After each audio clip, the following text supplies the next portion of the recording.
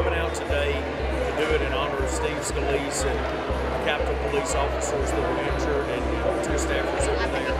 Something that's really important is, is to bring the congressional community together. We supply 25 local hospitals um, with everything from red cells to plasma.